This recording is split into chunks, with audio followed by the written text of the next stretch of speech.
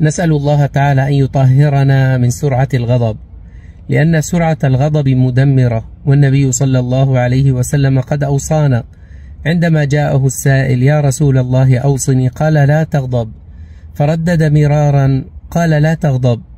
وقال عليه الصلاة والسلام ليس الشديد بالسرعة إنما الشديد الذي يملك نفسه عند الغضب.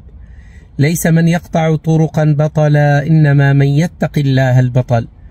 البطولة ليست في ضرب فلان وأذى فلان وشتم فلان ورد الشتيمة بشتيمة أخرى أو بشتائم ولكن البطولة الحقيقية عندما يملك الإنسان نفسه لحظة الغضب ويتصرف بحكمة. كم من إنسان طاش عند غضبه فطلق. كم من إنسان ظلم عند غضبه فقتل. كم وكم. ولكن الذي يملك نفسه عند الغضب قد حفظ نفسه من شرور كبيرة. صنت نفسي عما يدنس نفسي.